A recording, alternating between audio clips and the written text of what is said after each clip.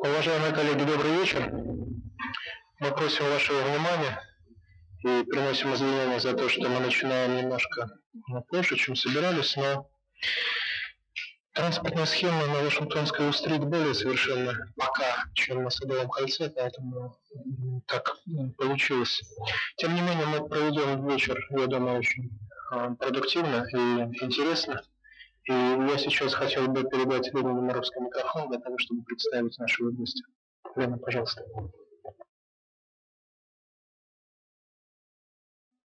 Андрей, я только, не знаю, только сейчас спросил Блэра, вспомнила, когда мы познакомились и через кого. Потому что это было уже 20 лет назад, и как Блэр помнит, что это Пилар. А она сама ничего не помнит. Значит, вот как отдаляются на самом деле всякие дорогие события в жизни, дорогие знакомства. А про знакомство с Блэером, помимо всего замечательного, что я могла сказать, я не знаю, наверное, все-таки помнит. И вот это я точно помню. Я не помню из-за чего, но было какое-то такое... Вдруг между нами или из наших рядов выросло какое-то такое чужое, неблагородное коммунальное поведение какого-то человека. Американца, надо сказать, литовского происхождения. Это я все помню. И прямо такое неблагородное ну, я ведь живу не на, это, не на том континенте, на этом, и поэтому как-то, не то что примирялась, ну, так, терпела. И то изящное благородство в поведении, которое проявил Блэр, меня потрясло и поразило. Оно меня потрясло и поразило, потому что он все равно считал возможным его проявить. Это требовало от него усилий, это требовало от него очень многого. И он это выполнил совершенно до конца. И я вдруг поняла, что вот это удивительное э, дружеское создание для меня и, для, и я, наверное, для него, которое мы видимся раз в полтора года. Я никогда не была гостем киноинститута. Но я знаю, что Блэр есть. И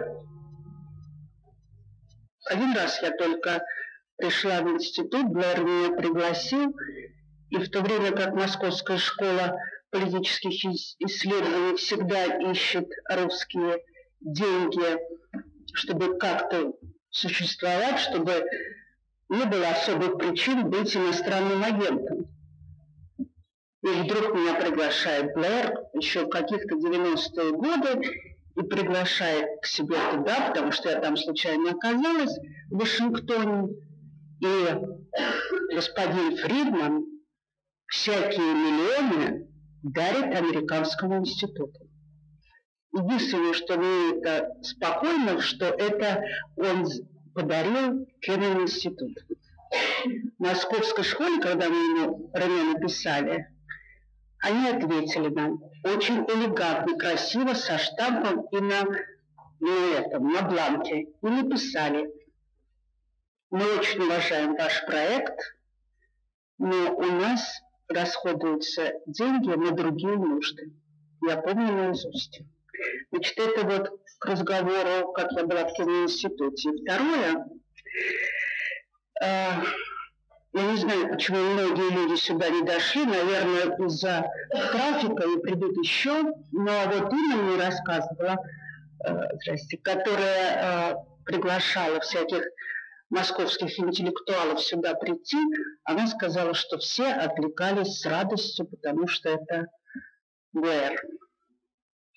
Еще одна вещь про Блэра я могу сказать, помимо того, что он член попечительского совета школы и один из наших замечательных экспертов, он один из тех людей из другой страны, чье мнение мне интересно, когда он рассказывает о своей стране.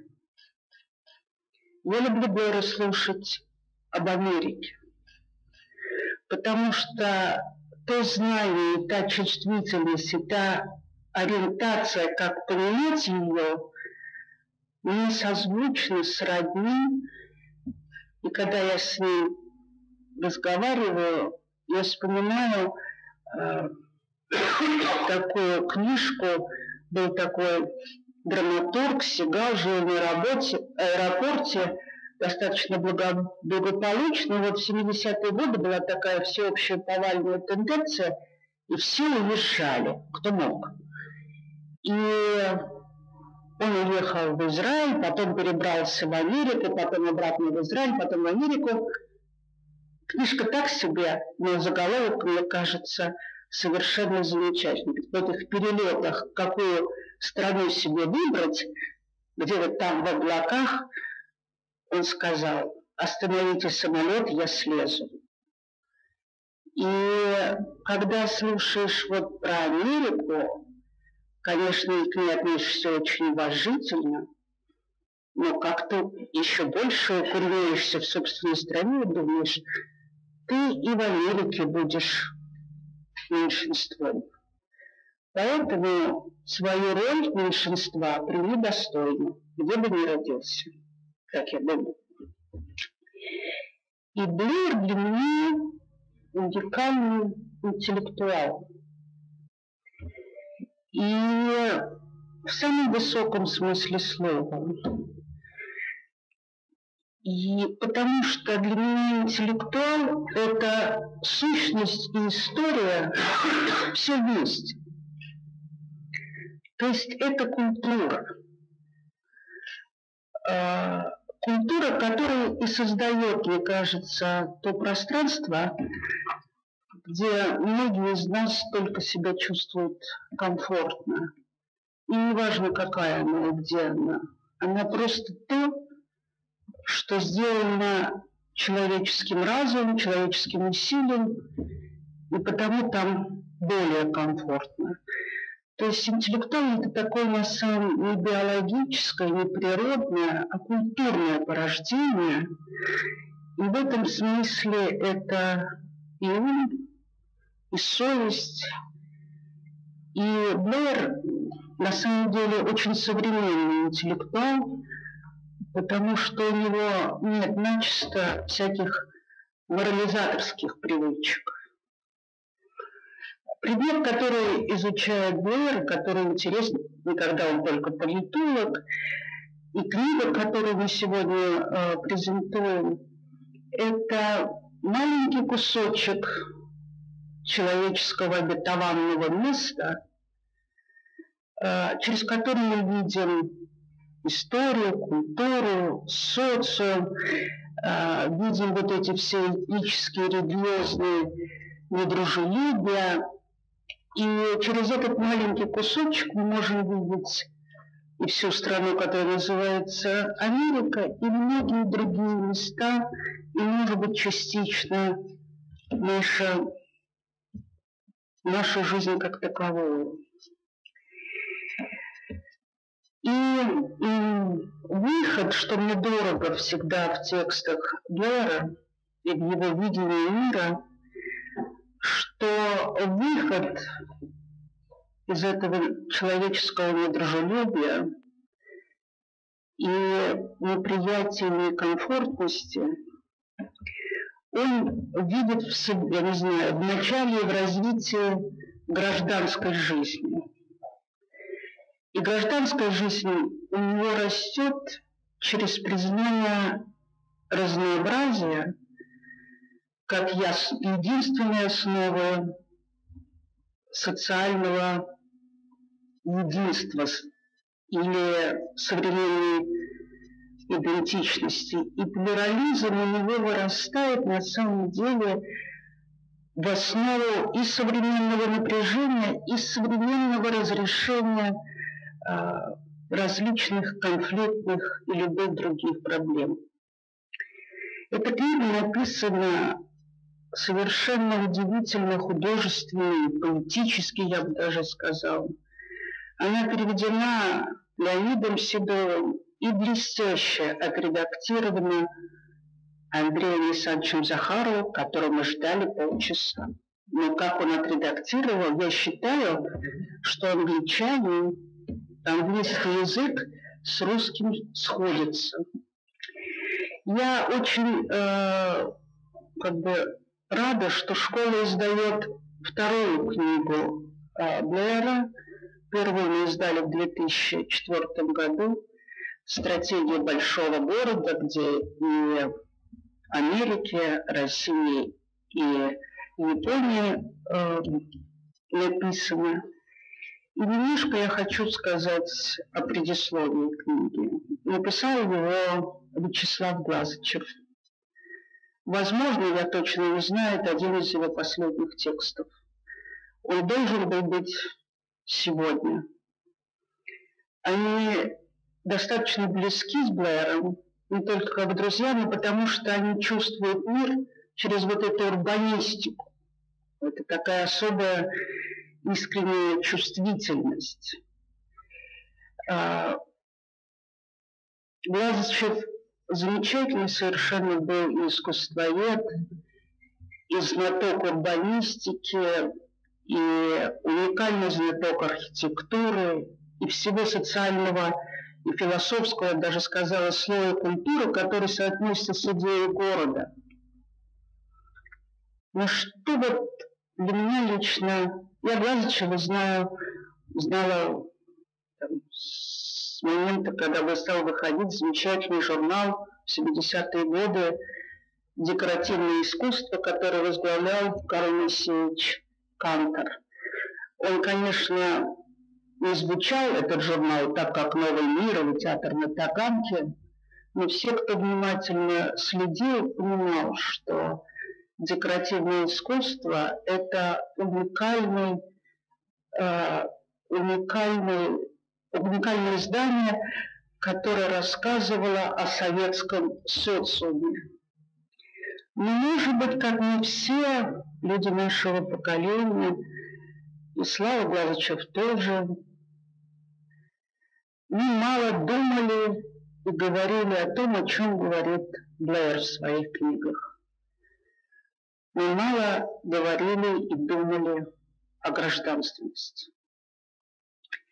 Поэтому, если вы посмотрите предисловие, то у Славы Главича в этих слов центральных, на мой взгляд, для современного мира, для России в частности, совсем не найдете. Я это говорю с пристрастием, потому что меня лично интересует именно это.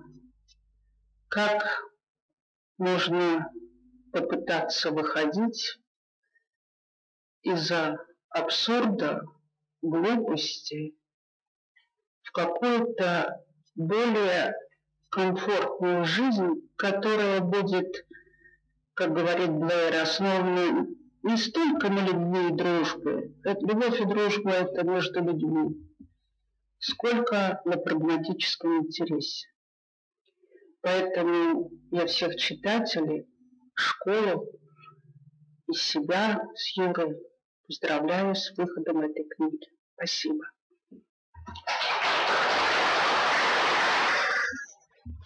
Ты ведешь.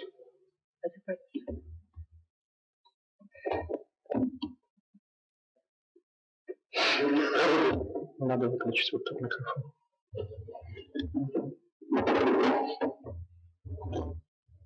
Коллеги, я думаю, что сейчас разумно будет свое предоставить авторам, а потом мы начнем высказываться, и я уверен, что многим тут есть что сказать по поводу этой книги. И сам я не являюсь исключением из этого списка, поскольку был счастлив ее прочитать дважды, по-английски и по-русски. И, конечно же, поделюсь своими ощущениями со всеми присутствующими. Прошу вас.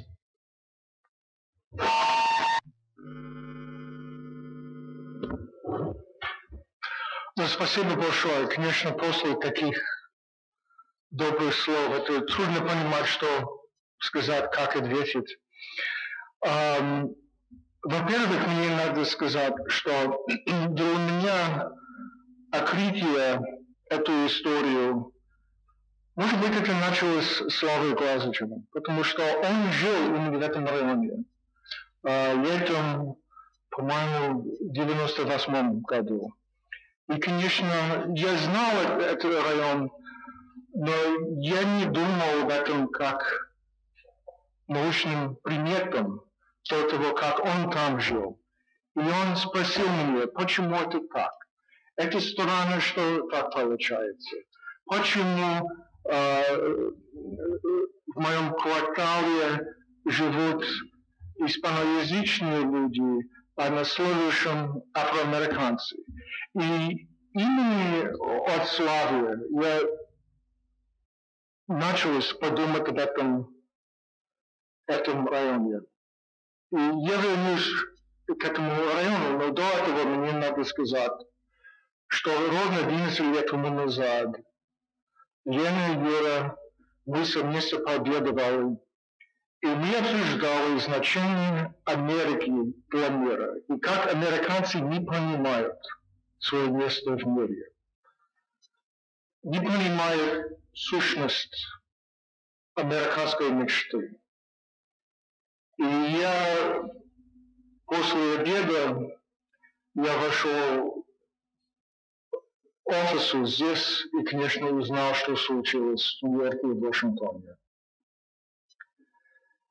И когда Лена заметила, что, может быть, я поговорю о моей стране, своей стране немножко иначе, может быть, это так. Но все-таки я говорю очень по-американски. И э, я думаю, что это обсуждение, которое началось 11 лет назад, продолжается. И э, значение Америки пока неизвестно. Но ответ можно искать в разных местах. Можно подумать о внешней политике Америки. Можно подумать о политике. Можно подумать о популярной культуре. Но я думаю, что также можно, можно подумать о таких местах, которые вообще вне истории. И для меня, может быть, я что-то узнал в моей стране, в таком месте, где большинство американцев не считают, что это существует. Это афроамериканский квартал в Вашингтоне.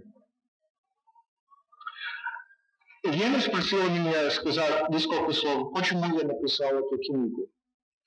Но как я написал в книге, это началось в джазовом клубе. И мы с женой с Аллой часто бываем в этом клубе.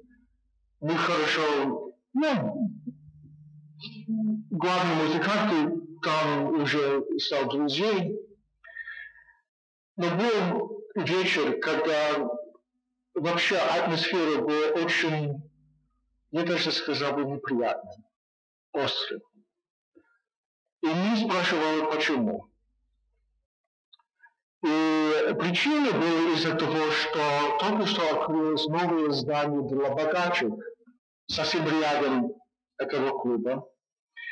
И эти афро- афроамериканские музыканты чувствовали, чтобы они потеряют свой район, свою культуру и мир. И это было интересно. Я спрашивал, почему? Они не жили в этом районе. Но символика этого района для них достаточно важна. И я хотел бы узнать, почему. И мой ответ – это книга, которая для меня – это подарок этим близким друзьям, которые нам издали просто красоту. И если существует большая история в этом квартале, это как человек создает красоту в плохих условиях. Эта история, э, этот район начался во время нашего гражданской войны в 60-х годах 19 века. Um, и стал, uh, когда расовая сегрегация началась в Вашингтоне в 80-х годах 19 века, это стал самый главный район афроамериканского города. Uh, в Вашингтоне мы часто говорим, что это был Гарлем до Гарлема, потому что там был самый лучший школы для афроамериканских стран, достаточно крупный университет. И там жили люди, которые думали, что им надо строить красоту. Может быть, это в религиозном смысле. Может быть, это в политическом смысле. Это так интересно, когда это все, я началось, я думал, что эта книга будет про музыки или про культуру. Нет. Это об истории гражданского общества и человеческих прав. Потому что уже в 20-х годах люди в этом районе и э, профессора э, Хауардского университета решили, что надо защищать себе закон. Для меня это значит, что, конечно, это маленькая улица, маленький район, но это имеет значение достаточно большое. И я надеюсь, что я сообщу, почему здесь. Потом этот район также уникальный в Вашингтоне, потому что это место, где сели совсем разные люди. И я понимал, что такие районы, так называются теории зон контактов, очень ценные для жизни города и вообще в мире. И дело в том, что такие районы, они находятся в транспортных центрах, а, торговых, около торговых а, таких рядов и так далее. И они впечатляют, что они грязные, неинтересные. Такие места, где люди должны общаться друг с другом, даже если они ненавидят друг друга. Такие места – это просто золото жизни города и общества. И я надеюсь, что в этой книге я объясню, почему. Это интересно, что кружке, скажем, два километра от центра этого района были бунты 19 году, 68 году, 92 году. Это не значит, что люди живут мирно с друг с другом. Нет. Это значит, что в таких местах люди должен понимать, кто они и что у них есть общего с другими. И эта история, по-моему, история открытия э, этих возможностей. И я думаю, что в этом смысле Newsweek это э, существует в мире сотни тысяч такие места. И это важно, чтобы они сохраняются. Они, можно подумать, что они в болотах. Самые богатые, может быть, некрасивые места в городском мире. Но сначала я заметил, что я, я открыл, это, это мне надо сказать, что афроамериканцы всегда понимал, понимали, что какую историю там было. Ну, я открыл эту историю, потому что в Штатах мы читаем, что Вашингтон – это не город. Это не имеет настоящей истории. Там живут люди. Кто там живет? Ну, сотни тысяч, но они не... Вашингтон – это какой-то враг. И как человек, который уже давно жил в Вашингтоне, я хотел объяснить, нет, это настоящий город. Вашингтон не настоящий городской истории, с яр, яркими личностями. И э, я также хотел бы как, представить ответ другим американцам, которые считают, что Вашингтон не существует. Это действительно существует. Это очень богатая история. И в конце концов, я хотел бы сказать, что а, для меня эта работа был подарок. Я встречалась с такими очень ну, просто нетипичные личности, люди, которые действительно очень богатые смысл в духовном смысле. И я много узнал о жизни от них, как я много узнал от Славы Глазичева, от Лены, от Юры.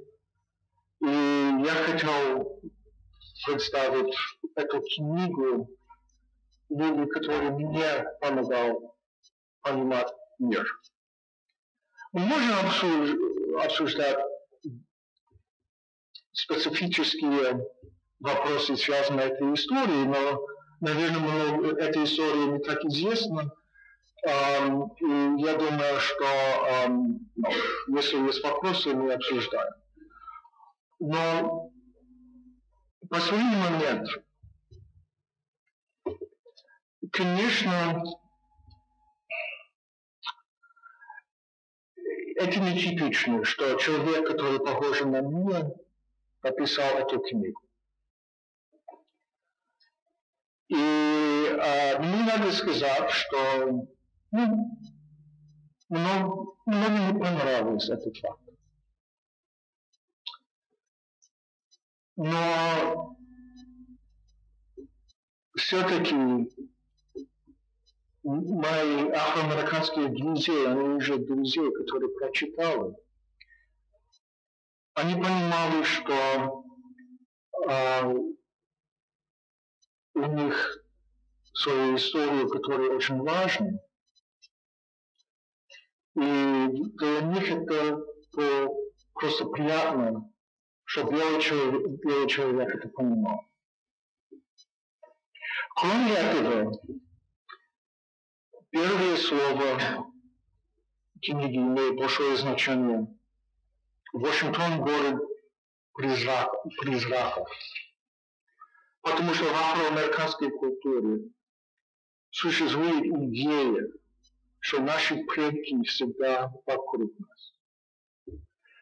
И э, я обсуждал на кафе на улице Ю эту книгу человеком, который который сказал, ну вот, ходит Лэнгстон Хьюз. И он прав. Это история, а как наши предки всегда с нами в нашей жизни. И это также урок Спасибо.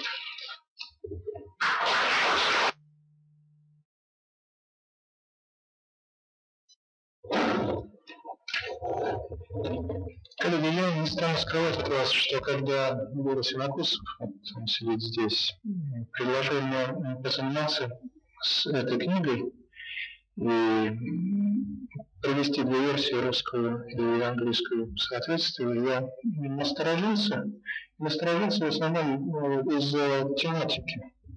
Я прочитал обложку «История Вашингтонской улицы», Вашингтон не такой родной для меня город, как вы понимаете. И ну, съездишь на 3-4 раза за всю жизнь, и как я с этой улицы, что у меня может быть общего, и как можно вообще сродниться. В общем, я какого-то подспудного скептицизма преисполнился, но поскольку Юре отказать невозможно, он друг, и этим надо было заниматься. И начав этим заниматься, я вдруг обнаружил, что господин Рубль придумал очень хорошую книжку. Хорошую, потому что эта книга нас не должно вводить в заблуждение названия, поскольку книжка не обуется на самом деле. Получилась книга о том, как город делает граждан. А городом в полном смысле слова мы можем называть только то пространство, которое генерирует гражданственность. И описав историю одного сегмента федеральной столицы, наш уважаемый автор показал, как это происходит. Фактически, ну, если хотите, это история Соединенных Штатов, история американской политики, американской культуры, взята через увеличительное стекло и сфокусирована в одном маленьком кусочке города Вашингтона. Причем я повторяю, что самое главное заключается именно в этом. В книге показано, как изначально бесправные и ничего не значащие в американском обществе люди сделали себя полноценными гражданами этой страны. Очень тернистый путь и увлекает просто эта история. Да и потом, когда читаешь, постоянно проводишь какие-то параллели, поскольку каждый из нас порождение определенного социально-культурного ландшафта, мы не можем не сравнивать. Когда, скажем, читаешь о замечательных вашингтонских коррупционерах 70-х, 80-х годов прошлого века, сказать радуется душа нельзя, это неправильно. Но что-то происходит, какое-то испытываешь, э, какое-то волнение испытываешь. И со многими фрагментами этой книги дело вот обстоит а, таким образом. То есть я клонюсь сейчас к тому, что она интересна для русского читателя. Она интересна для русского читателя, потому что мы только пытаемся сейчас а, превратить свои города в такие места, где рождается гражданственность, где появляются граждане. А когда об этом читаешь, когда видишь, что это возможно, да, на это уходят. Ну, кстати, вот это по поводу ответ э, на некоторые наши печали по поводу того, что уж очень медленно мы э, это делаем. Мы это делаем так, как это единственное можно делать. На это требуется время. Господин Рыбин показал, что на это уходит не то что десятилетия, столетия на это. Как это не прискорбно, потому что жизнь у каждого из нас индивидуально короткая все-таки. Одним словом, получилось э, замечательное, замечательное произведение, и я завершаю эту работу, ну, трудно весьма, надо сказать, потому что это по своему контенту книжка совершенно непростая. Тут приходилось углубляться в дебри американской истории, и весьма многими частностями я обогатился благодаря нашему уважаемому автору. По крайней мере, стал разбираться в каких-то деталях. Но эта работа принесла просто творческое удовлетворение вот мне как научному редактору. И сейчас к Юрию Синокосову, так же, как и к автору, ничего кроме благодарности я не, не испытываю. Вот, коллеги, если в двух словах, вот примерно такие субъективные если я хотел вам предложить. И э, сейчас я хотел бы пригласить к участию в дискуссии э, всех присутствующих, и э, в первую очередь тех, кто уже успел книгу прочитать. Я подозреваю, что, может быть, не все успели еще это сделать, но это можно будет сделать потом. Когда мы будем дискуссировать, у меня технический просьба есть. Пожалуйста, представляйтесь, потому что у нас идет прямая трансляция. И я, пользуясь случаем, приветствую всех, кто смотрит трансляцию по интернету. Для нас это очень важно. И несмотря на достаточно малочисленный характер аудитории здесь, мы должны это умножать. Я не знаю, на какой коэффициент. Я знаю, что люди смотрят нас. Поэтому, пожалуйста, называйте себя, чтобы было понятно, кто участвует в нашем разговоре. У меня есть подозрение, что два уважаемых э, коллеги, которые сидят с нами за столом, э, книгу прочитали. И я, с вашего позволения, дам слово э, в первую очередь, я имею в виду Николая Петрова и Никита Соколова. Пожалуйста, в какой последовательности? Николай, вам удобно будет? Никита, да? Хорошо, Никита, пожалуйста. История, прошу вас. Но мне действительно выпало, э, выпал факт книгу эту прочесть.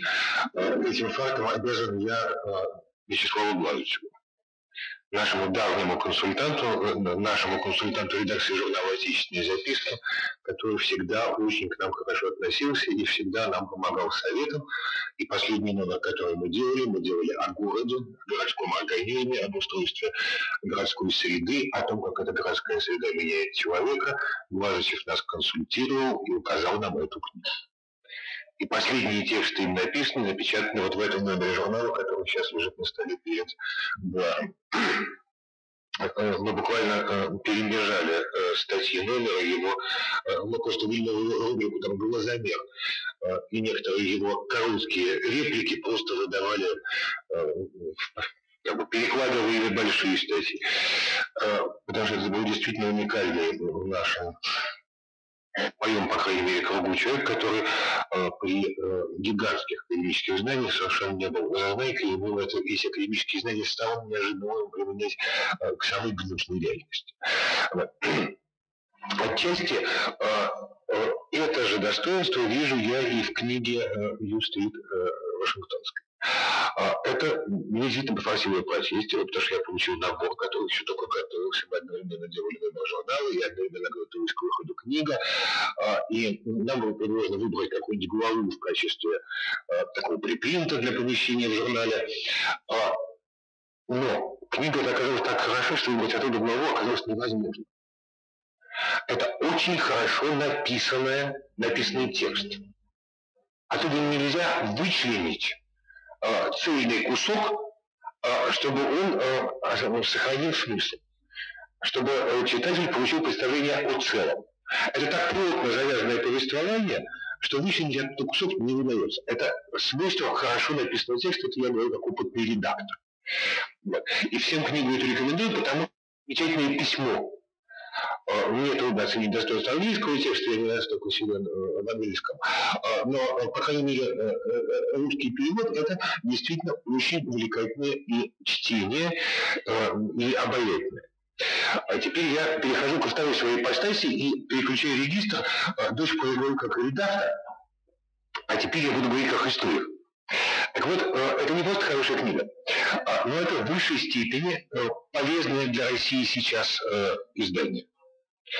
А, в высшей степени вот почему. Тому есть, по крайней мере, э, две важные э, причины. Э, именно связанные с развитием отечественной исторической науки и с ее тяжелейшим кризисом, который все люди следующие могут наблюдать. Это кризис методологический, сюжетный, это кризис э, повествовательный, э, кризис нарратива, он во многом проявляется. И появление книги Луба одновременно абсолютно корректный, построенный на блестящем анализе многочисленных исторических источников, и при этом, что чрезвычайно существенно, не уклоняющийся ни в какую статистическую описательность, на что можно было бы здесь съехать очень легко. Эта э, книга всегда написана в лицах. История делается людьми, э, и блестяще это показывает, что никакой, нет никакого закона. Вот люди делают сами свою историю. И он показывает нам, как они ее каждодневно делают. Вот приезжает такой-то пастор, и начинается такая жизнь в квартале. Приезжает другой пастор и рек. И э, жизнь квартала поворачивается в совершенно другую сторону. И в этом смысле, вот эм, Андрей, Андрей говорил, что, мне кажется, душа его радовалась, э, когда он читал про коррупционеров. Э, это чистая правда. Взгляд, парадоксальное чувство. Боже, какой э, ужас, читаешь это описание, ужасный трущобы, какой-то кавардак, какие-то совершенно Э, маргинальные люди там ходят, и, э, казалось бы, конца этому не предвидится. Вот если э, мыслить исторически закономерно и думать, что э, только как бы, тенденция может быть только продолжена, а, как думают все люди, думающие об исторических законах. Будь они марксисты, э, э, или будь они сторонники культурных кругов, или бог знает каких кондратьевских циклов, любые сторонники современной истории, они умеют только экстраполировать текущую тенденцию, больше ничего не умеют. И тогда вот, вроде бы история человеков не имеет никаких шансов продолжиться. Эти люди должны вымереть, съесть друг друга и исчезнуть с лица земли. Но нет. Вот в самый, казалось бы, жуткий момент обнаруживается какой-то пастор, примерно еще пара газетчиков, и они поворачивают историю этого квартала, а с ней историю Америки. Это очень оптимистическое чтение, очень, э, я бы сказал, духоподъемное в этом смысле.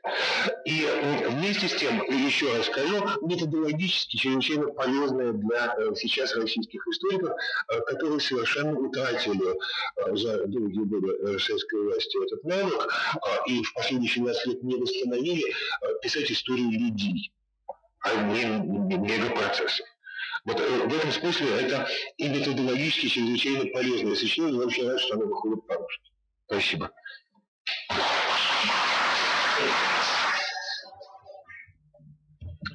Спасибо, Никита. Прошу, Николай Петров. Прошу, Николай. Спасибо. Э, я, как это ни странно, не успел книгу прочитать э, с чувством и с толком. Я листал э, англоязычный вариант и успел только пролистать русскоязычный. Но есть, по крайней мере, три основания у меня, книгу не читая или не читая ее по-настоящему, все-таки о ней э, что-то сказать. Но, э, во-первых, я урбанист по образованию, и мне близки э, те вещи, на которые, которыми всегда занимался Буэр, на которые он сейчас вырвал, в том числе и э, в административной своей карьере. Э, во-вторых, я, э, можно сказать, сосед э, иногда бываю Ю-стрит, потому что Э, Карнеги в Вашингтоне находится на Дюпон Circle, где неподалеку живет Блэр, на С-стрит или на П-стрит, да, э, я даже жил однажды в этом доме в течение месяца, но мы так и не увиделись в тот раз. И Ю-стрит не очень далеко от этого места, сейчас э, она такая вполне респектабельная и фешенебельная, можно только представлять, читая в том числе таблички, которых там много, а, что происходило в 1968 году, как она выглядела тогда, насколько действительно серьезные и ужасные были тогда и протесты, и, а, и повреждения. И, а, наконец, есть целый ряд других вещей, таких связей и знаков, которые меня к этой теме подталкивают, и в том числе и там наши общие с Дуэром друзья и знакомые – как, скажем, географ э, Паша Ильин, э, который много занимается, э, в том числе и Вашингтоном, и Россией, и географией вообще, и чьим приятелем является Леонид Седов, который эту книгу переводил. То есть все, все сошлось. Да? И я даже вспомнил, что у меня есть один американский приятель шведского происхождения, и мы вдруг обнаружили, что наши семьи дружат независимо в трех поколениях, независимо друг от друга. То есть их не знакомили родители, а вот там э, три поколения семьи дружат. И когда я обратил его внимание на это э, с удивлением, он сказал, чего удивляться, нас в мире пять тысяч человек, и мы как-то вот все друг с другом связаны, родные, близкие родственники, и через двух человек всегда можно найти хорошего знакомого. А теперь несколько слов я попробую сказать по Э, существу. И э, мне кажется, действительно э, очень интересный и для меня необычный жанр книги, который обозначен как биография улицы. Это, это социальная и культурная история сквозь призму истории улицы. Я бы даже сказал, это черный Вашингтон и его история в зеркале Ю-стрит. И э, я завтра лечу туда, и теперь я обязательно возьму книгу с собой, похожу и Э, свои абстрактные впечатления от Ю-стрит и от Адамс Морган, через который проходишь, когда туда идешь от э, Дюпона, я, э, я теперь еще и совмещу с серьезным таким научным и историческим подходом. Мне кажется, очень важная вещь, и об этом отчасти говорилось, то, что а, здесь а, в книге есть то, что в географии называется игра масштабами. Да? То есть есть и история э, в виде ключевых моментов, э, через которые проходила Ю-стрит и история Черного Вашингтона в целом, а есть и люди, которые олицетворяют вот эту всю историю. Очень интересно читать, то есть повествование, и вдруг какого-то человека, который, э, который иллюстрирует, э, ну, то есть это, это как бы два разных подхода, да, горизонтальный и вертикальный, и это, это необыкновенно интересно и э, очень здорово. И я, э, у меня меркантильный взгляд на эту книгу, я понимаю, что она очень интересна и полезна, я думаю, что, к сожалению, в нашем Отечестве очень мало, э, ну, практически даже нет э, такого рода исследований, которые, с одной стороны, были бы достаточно глубокими, серьезными и научными, с другой стороны, достаточно популярными и увлекательными для того, чтобы люди с удовольствием их читали, и с третьей, которые как бы протаскивали нить э, через э, историю какого-то куска города, протаскивали бы нить и показывали вот всю ткань исторического развития и географической картинки Э, современности. И, наконец, последнее, мне действительно очень интересно было это читать, в том числе и потому, что, как Блэр сказал, Вашингтон, особенно если э, ты в нем не живешь э, десятилетиями, он воспринимается как немножко такой стертый, без э, своего индивидуального лица. Город очень милый, э, уютный по-европейски, но вместе с тем лишенный вот каких-то ярких черт. И Юстрит это, по-видимому, такое место, где вот как раз максимальная концентрация и индивидуального, и э, необычного, и историко-культурного, и архитектурного, и более того, э, неподалеку на 16-й улице, например, там э, каждую осень проводится э, такой фестиваль улицы, когда улицу перекрывают, а улица представляет собой, вот как Блэр э, сказал, э, ну, нанизанные друг на друга э, локализации, где живут самые различные этнические общности. И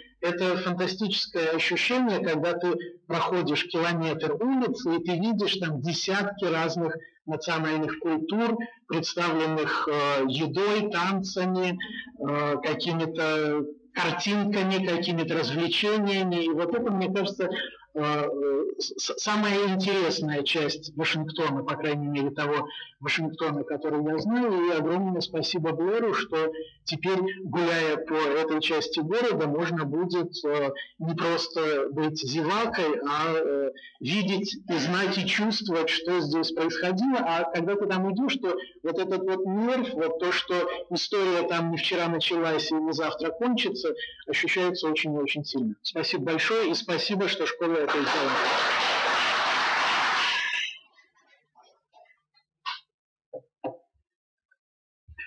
Коллеги, я приглашаю желающих высказаться. Пожалуйста, коллеги, прошу. Называйте себя и, наверное, микрофон. А, у нас, у нас есть переносные микрофоны. Здравствуйте, я Борис Ланин. Я думаю, что было бы любопытно рассказать о том, как проходило э, чествование автора, когда книжка вышла на английском языке, потому что я в этот день был в Витровесине.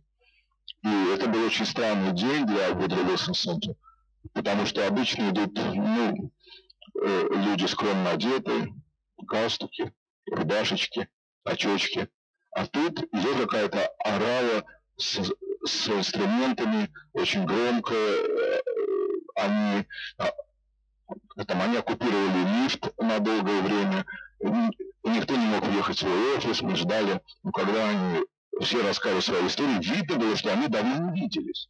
Они так радовались, они открывали двери лифта, вставляли свои инструменты, чтобы эти двери никогда не закрывались, и здоровались очень долго. Все было очень весело. Ну, и, в общем, ну, мы насторожились, вы знаете, потому что, ну, что что-то готовится. Но мы не знали, что будет на самом деле. И вдруг просто стало ясно, что все занятия населения отменяются, потому что раздалась музыка, она была слышна там везде, и началось. Все это длилось очень долго. надо сказать, что э, в центре Вуду есть особый ритуал э, чествования авторов книг, отмечаний этих книг, и разговоров об этих книгах. Обычно кто-то от издательства за маленьким столиком у сядет, э, там будет книжечка, и там 20 долларов, 25 долларов, 40 долларов. И кто-то обязательно купит эту книжку, чтобы не было обидно. Вот. Ну, в общем-то, и все. И, и все, люди сядут, поговорят где-то час об этой книжке, выпьют э, два бокала, там кусочек сыра и до свидания. Тут длилось очень долго. В зале, в большом зале, где обычно все, все у нас проходило, действительно не было мест, потому что был великолепный концерт, понимаете? Замечательная музыка. Э, Блэйр читал какие-то фрагменты на английском языке. Вставали люди и рассказывали какие-то свои истории об этой улице. И вдруг вышла совершенно невероятно афроамериканская женщина, то есть э, ну, настолько экзотично, вы знаете, вот запах помады для волос э, чувствовался, э, я думаю, на Ю-стрит, вы знаете, хотя эта улица довольно, ну, до нее идти довольно долго. Вот. И она встала, и она прошла такой заметно расслабленной походкой вот на сцену. И она сказала, вы знаете, когда он мне звонил, я подумал, еще один белый хочет услышать историю моей черной жизни. О чем мне с ним разговаривать? Вы знаете, когда я его увидела, я поняла, я угадала все правильно. Все верно, вот еще один белый хочет, хочет услышать историю моей черной жизни. Но когда он заговорил, я поняла, что это мой друг на всю жизнь. И когда Блэр вот окунулся вот в эти запахи волос, они начали, обни... они начали обниматься, ну, по-товарищески мне, конечно, хотелось закрыть его собой, но, но разорвать их было уже невозможно. Вот. И, и это был совершенно замечательный день, который кончился, тем не менее, не по-американски, а очень по-советски, потому что выстроилась очередь. И мы стояли в очереди, Блэр честно все подписывал каждому лично. И это был совершенно чудесный и замечательный день. Какой гениальный вот, вот этому дню. Вот что я хотел рассказать.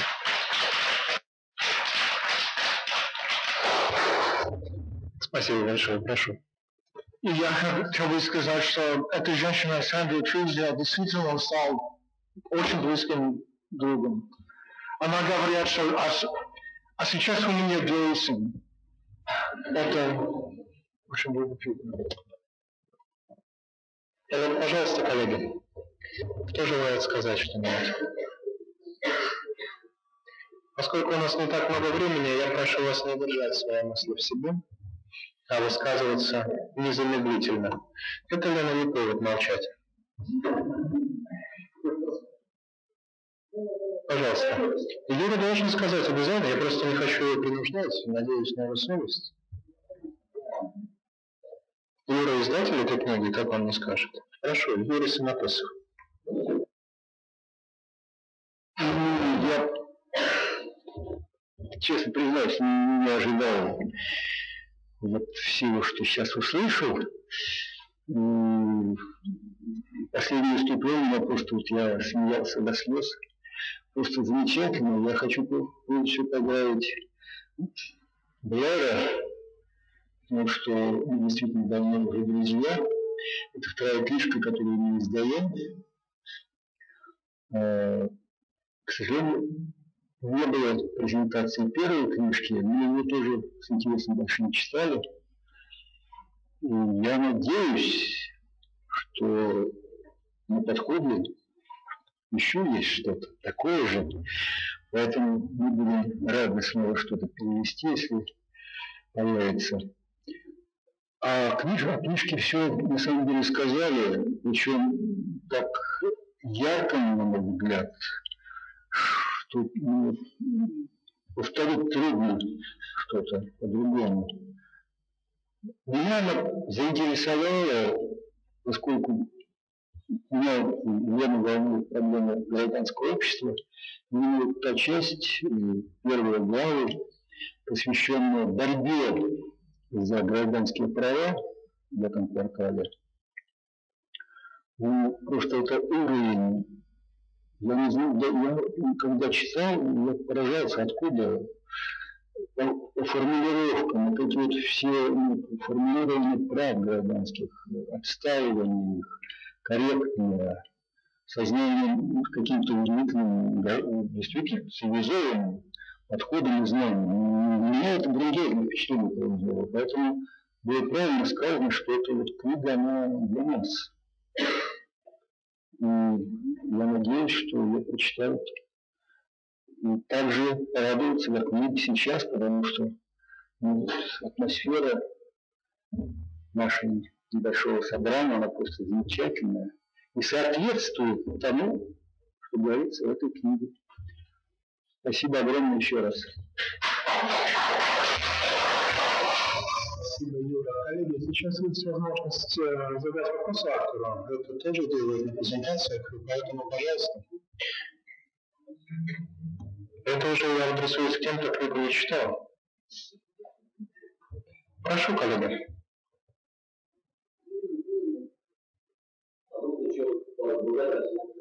Конечно. Прошу вас.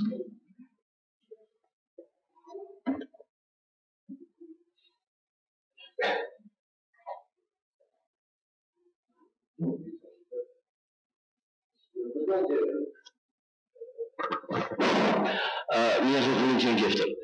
А, я вообще э, рядовой читатель, который тоже, как и Николай, еще не читал книги. Но есть какие-то удивительные совпадения в жизни, э, э, которые меня не просто привели в эту комнату, тем более, что я вообще из мемориала, а немножко я сейчас вот и скажу. Мне повезло, я 7 лет назад три месяца провел в таком страшном бюрократическом учреждении, как Институт Кена. Да еще в таком туристско-бюрократическом месте, как Вашингтон, Д.С. Вот. И это один из самых лучших месяцев моей жизни. А, ну, знаете, что она такая была однообразно монотонная, э, большей частью, но все равно. Особенно меня порадовала там вот трудовая дисциплина, была как директор, с которым мы, к сожалению, мало общались, но это не потому, что я уделял мало времени, а просто потому, что, ну, может, мои дела и интересы не так ему были близки, но замечательно бездельное место, в котором можно было просто наслаждаться жизнью и одновременно немножко подумать о ней. И я думаю, что вот то же самое я получил удовольствие, читая православие. И я, кстати, там познакомился со многими замечательными людьми, некоторыми вот общими знакомыми с Юрой и Леной, нашими общими друзьями. Очень много вообще российско-американских пересечений, о которых можно долго говорить, вот это в те самые пять тысяч попадает. В этом году я был в мае несколько дней, э, не было, вот, э, я зашел в кино, но как-то без него там неинтересно, поэтому я очень переживаю, что, что Блэр уходит с, этого места, вот, но все-таки недалеко, как я понял, Водоров выписан. И э, мы стояли где-то в гостинице ну, в той части э, города, и я как-то пошел погулять, и случайно совершенно как темный человек вышел вот на эти кварталы, где на каждой, там, почти на каждом уголочке квадратного гнездового города вот есть короткие описания того, какие люди афроамериканские там были, жили, что там происходило. Но я совершенно вышел ошарашенный, не только потому, что э, столько интересного, только потому что я всегда проецирую это на нашу жизнь, вот почему я не могу вот так походить по каким-то местам э, в родной стране. А через несколько то ли дней, то ли недель, я уже не помню, даже где, может быть, в каком-то мотеле американском, но вряд ли, по в России, мне попался э, какой-то покетбук, э, знаете, на полочке оставляемый посетителями, посетителями по-русски. И там это был рассказ про борца уже нашего времени за гражданские права, в первую очередь афроамериканцев и латинос, в этих районах Вашингтона. Не помню сейчас, э, не буду врать автора. Э, ну, такая история, как преуспевающий юрист э, попадает в ситуацию, когда его фирма становится невольным причиной смерти замерзающих холодным там февральским ну, уже кто-то, женщина с детьми в машине, и потом он раскручивается, уходит, выигрывает, его там преследуют, он выигрывает все, что можно, и проигрывает тоже все, что можно в своей личной жизни, в первую очередь. Ну, значит, такой потрясающий, но одновременно очень примитивный э, fiction. Вот оттуда же. И вот такое сочетание. Blair и Юстрит. Э, значит, вот эти таблички. И одновременно то, что вот в крови, видимо, в какой-то э, жизни маленькой Лены Права, на лучшей части американцев, вот мне хотелось бы сказать спасибо Блэру, потому что вообще я Блэр расценил как русского человека. Это так кажется, он с виду американец. Ну да, да, да, да. Только что денег только не было. Вот. И вы знаете, последнее знаю, чтобы не задерживать. В тот день, когда я приехал в Вашингтон, ну, может быть, буквально через два дня, в Вашингтонском соборе, там, на, на горке, а, отпев, не отпевали, а как это назвать, ну, мемориалили, да, вспоминали самого Кеннона, который умер за 2-3 месяца до этого. И вот мое первое впечатление от Америки, этой самой интеллектуальной, там, даже не либеральной не скажешь, просто хорошей Америки, скажем так, да, вот этот громадный Вашингтонский собор, замечательные люди, э, был один из них, э, Бах, э, да, не помню, не помню сейчас все, такой яркий весенний день, и вот дай Бог нам всем, как там, Боже, храни Америку, да, говорится где-то, вот дай Боже, храни, храни нас и Америку вместе, чтобы вот та гражданственность, которой мы учимся, наверное, из этой книги, эта культура, она э, помогала нам вместе жить. Спасибо.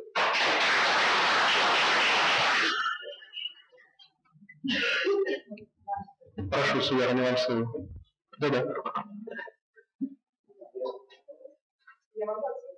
Да, только микрофон.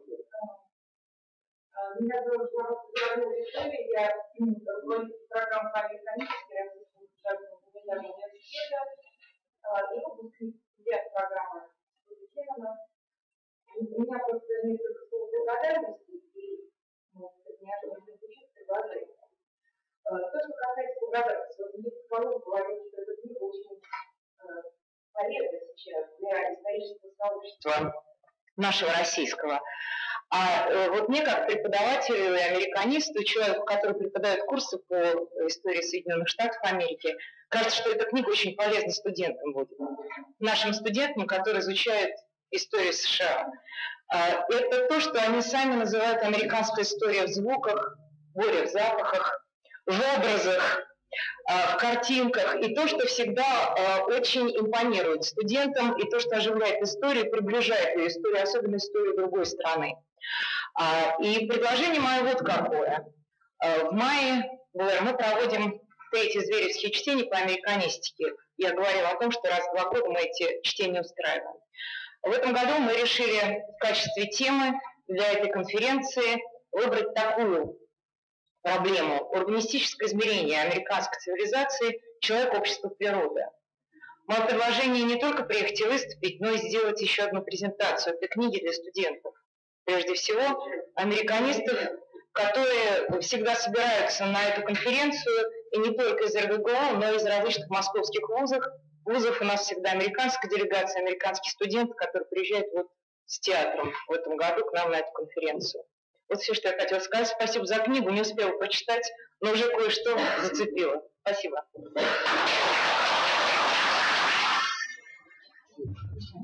Спасибо большое вам за эту идею, и она, на мой взгляд, еще более ценна в свете того, что, в общем, а, в России достаточно мало выходит книг такого рода сегодня. Я слушаю сейчас э, выступающих коллег, поймал себя на такой грустной мысли, э, как и, наверное, я подозреваю, кто-то из этого зала, я тут посетил Московскую международную книжную ярмарку, вот, и вышел оттуда в ужасе, коллеги. Печатается огромное количество книг, но нечего совершенно приобрести. То есть читать, читать в стране нечего. И то, что... Или почти нечего, я не буду уж э, слишком драматизировать. И то, что мы сегодня имеем возможность вот проводить такое книжное событие, и имея возможность листать и читать такую книжку, это замечательно. Поэтому касательно, касательно того, что мы студентам должны рассказывать э, про нее, я вас полностью поддерживаю, тем более я тоже преподаватель РГГУ. Вот, и это вдвойне приятно. Коллеги, пожалуйста, Настя Гонтарева, прошу. Да, спасибо. К сожалению, я тоже не успела прочитать книгу. Мне очень стыдно, потому что мы издаем, и я сотрудник школы, и мне интересны эти вопросы. Ну вот только начала листать, но мне кажется, я понимаю, о чем это, и, и улавливаю дух. И а, сразу пришли несколько мыслей.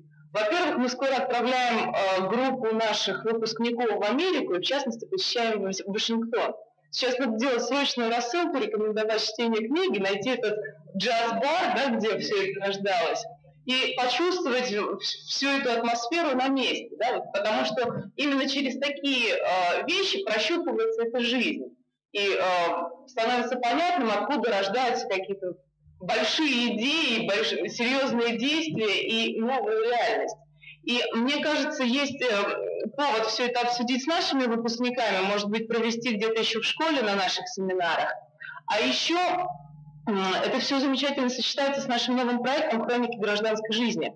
Потому что в регионах происходит масса каких-то таких интересных событий, которые зачастую остаются незаметными, но в то же время вот в них можно как раз уловить нечто, а, что потом может привести к чему-то интересному, любопытному в плане развития гражданского общества. И поскольку люди у нас приезжают из регионов, они как могут, может быть, благодаря вашей книге а, уловить эти вещи. То есть они могут а, обнаружить то, чего сейчас не видят, потому что угол зрения несколько иной. Это будет полезно. И нашим журналистам, которые будут заниматься а, вот этим проектом в регионах, мы просто будем, наверное, настоятельно рекомендовать читать э, эту работу. Большое спасибо. А еще интересно было бы услышать, может быть, у вас какие-то идеи. Вот, вы достаточно хорошо знаете Россию. Может быть, вы видите какие-то очаги сообщества, неважно, в регионах, городских сообществах, каких-то локалитетах маленьких, из которых могло бы что-то такое интересное получиться, какая-то история. История, связанная с гражданственностью. Спасибо. Ну, это очень интересный вопрос. И сначала я хотел бы сказать, когда я слышал, э, как мы обсуждаем history, это звучит как это какое-то уникальное место. Это действительно уникальное место, но это совсем типичное место. Я думаю, что они показывали фотографии. Ничего особенного нет. И я думаю, что в этом это, это есть очень важный смысл.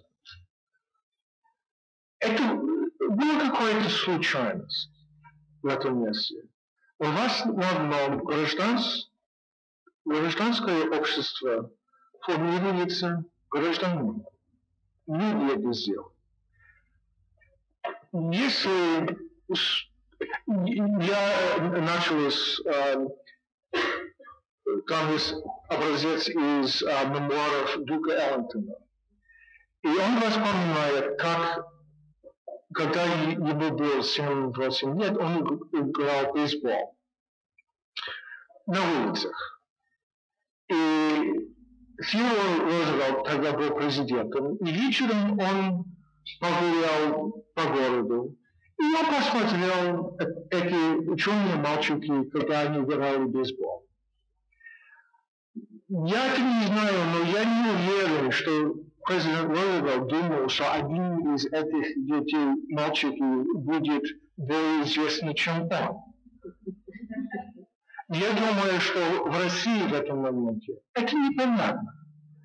Есть много возможностей, есть много места.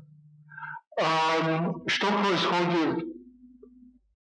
Происходит много и плохие, и хорошие. Но что важно, это, эта история, конечно, это имеет э, какой-то позитивный аспект, но это ужасная история. Что было построено, было построено из ужасов. И, может быть, это даже самый важный урок. Все возможно. Я, э, что это значит сегрегация в Вашингтоне в 30-40-х годах?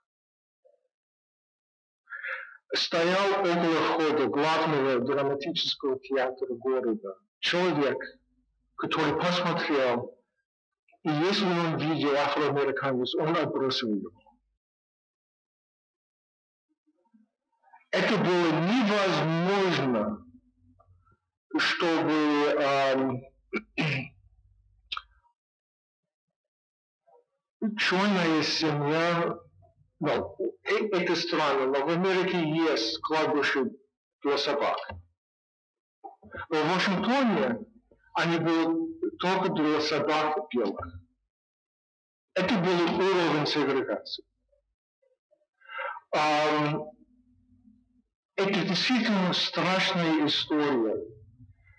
И чтобы не удивлен, самые простые люди, они хотели в основном, что что-то будет лучше для своих детей.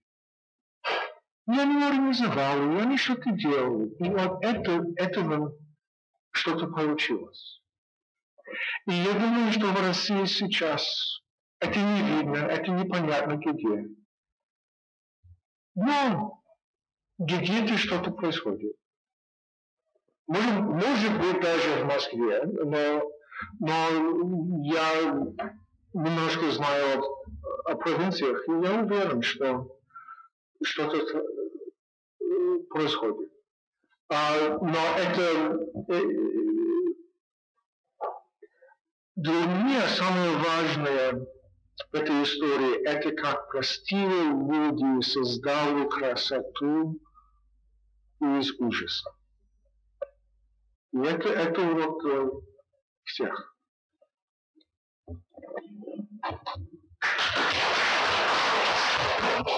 В книге коллеги есть еще один в высшей степени интригующий сюжет. Это борьба жителей Вашингтона за самоуправление. Наверняка большая часть присутствующих знает, что федеральная провинция была лишена, федеральная столица была лишена права на самоуправление на протяжении без малого 100 лет.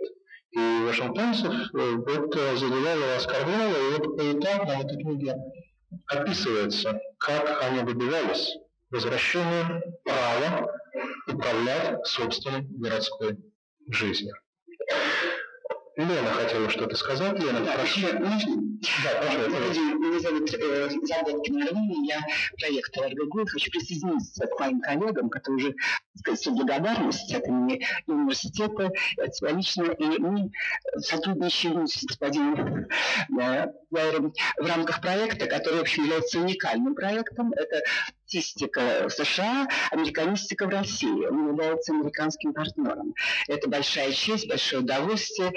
И вот, пользуясь случаем, хочу сказать, что вы знаете, я не читала книг, к сожалению, но вот уже сейчас я а, чувствую, что э, помимо того, что мы можем сделать презентацию, мы слышим ритмы Америки. Да? То есть я бы хотела поддержать Викторию Ивановну с тем, чтобы презентация была в университете, и чтобы студенты услышали ритм. Первое. А, знаете, помните, говорил об этом Уолт Уитман. Э, волны Атлантики несут ритмы Америки, берегам Европы и обогащенным возвращаются назад.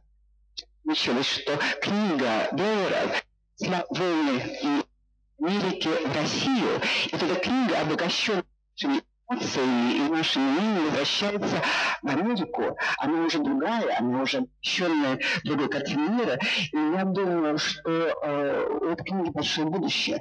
Для наших студентов она откроет а, знаете, вот, если помните, less distorted picture, less distorted view of America, это первое. Второе, она все-таки научит нас нас учит стать на позицию другого. Вот то, что Бахтин в свое время ввел понятие другого, и вот вы так тонко и так ненавязчиво, и так, я скажу, деликатно вот смогли нам показать позицию другого, который у нас не признается. И в этой ситуации, которую сейчас переживаем в Москве, умение боль другого в культуре чрезвычайно важно, и это гораздо больше, чем нам сейчас кажется. То есть мы должны на самом деле ценить ту тонкость и ту деликатность, и это понять inclusive society. Да, вот вы инклюзивны, учиться у вас тоже быть инклюзивным обществом. Спасибо огромное, и ждем вас весной к нам в университет. Спасибо.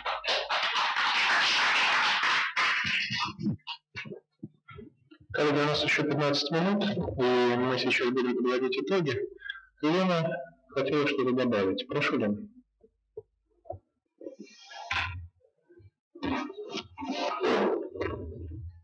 Я просто хочу э, добавить как участник этой дискуссии замечательной и сказать, что Блэр, он вообще член попечительского совета школы, эксперт, но вот сейчас в школе работают такие замечательные коллеги, которые здесь присутствуют, молодые. Они Блэра и выступление в школе уже не видели пять лет. Поэтому, дорогой член попечительского совета, вот сидит замечательный Юрий Березкин, вот она, да направо, которая собирала эту аудиторию. Она такая маленькая, хрупкая, но рука жесткая такая.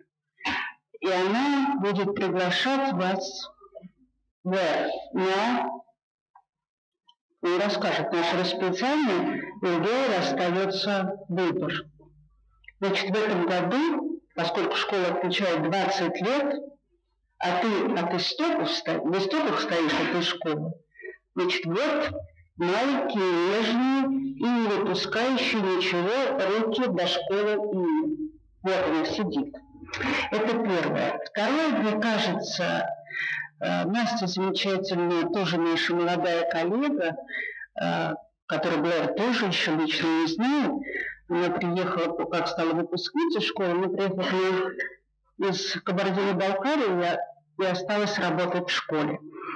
Она, мне кажется, сейчас сказала замечательную мысль. Настя, это обращаясь э, к нам всем как идея. А что если мы начнем записывать кусочки гражданской жизни в регионах, то, что делал Блэр в книжке, с книжкой, просто так, и фиксировать это на нашем сайте. Сейчас ничего не имею в виду, никаких ни выводов, ни стратегий, ничего. А просто фиксация того, что мы знаем происходит. Давайте вот в этой связи такое сделаем, попробуем сделать. И я еще раз хочу поблагодарить Андрея Захарова, который сумел выполнить замечательный поэтический русский текст. Я сегодня ради этой презентации второй раз перечитывала вот эти несколько первых 50-60 страниц. Это невозможно оторваться. Это поразительное, прекрасное чтение на замечательном русском языке. Спасибо.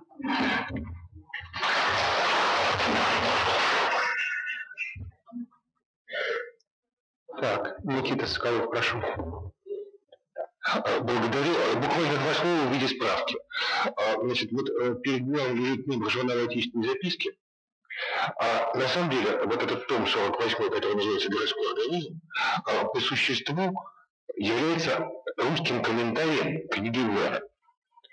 Вот. Мы, собственно, начали эту работу, э, которая сейчас двумя последними выступавшими предлагается. Э, и вот в этом томе начато исследование и того, где точки конфликта и каковы эти конфликты, и э, где точки возможные точки и возможные линии роста и где силы роста, буквально через месяц надо будет целиком на сайте, смотрите, мы там уже начали эту работу. Коллеги, есть ли еще желающие что-то сказать? Десять минут у нас еще есть, это можно сделать. Я не вижу э, пока желающих, и, э, видимо, мне остается сказать несколько слов. Мне кажется, что мы с большим толком провели сегодня время здесь, и это вот сам характер события, вот это вот еще покоряет. Такая вот обстановка теплая. То, что нас немного, это замечательно. Что нас не 500 человек на этой презентации. Так и должна проходить презентация книг. Потому что книга – это что-то касательно духа. И вот так вот тихонечко это и надо обсуждать. А то, что будет резонанс, э, сомнений э, никаких у меня нет. Я имею в виду от выхода этой книги э, по-русски. Конечно, если господин Рубль не приедет на семинар школы, Лене придется заморозить весь тираж. Но я думаю, что этого не произойдет, э, скорее всего. И, ну, послушаю выступление эксперта еще и Голицына. Коллеги, я хотел бы поблагодарить тех, кто решил э, вечер провести вот таким вот образом, а сегодня собрался здесь э, чтобы принять участие в этой презентации. Я, конечно же, хочу поблагодарить автора за то, что он лично нам помогает презентировать э, свою книгу сегодня. Это очень важно. Я признателен э, издателям Юрию Синокосову в первую очередь, поскольку если бы Юра за это не взялся, мы бы не имели возможности такое событие. Кстати, я скажу бестактность, но русское издание выглядит краше, чем американское. И это не может, не может нас не радовать, когда-то, между прочим. Вот можно сравнить, кто не верит, да? И, конечно же, я хочу поблагодарить наших гостеприимных хозяев э, мемориал, потому что мы уже не первый раз работаем здесь. Это всегда очень э, приятно и очень хорошо. В чем, коллеги, вы сможете убедиться, когда пройдете вот по, по ступенькам наверх, где вам предложат чай и кофе э, сейчас. Большое спасибо всем за участие. Спасибо.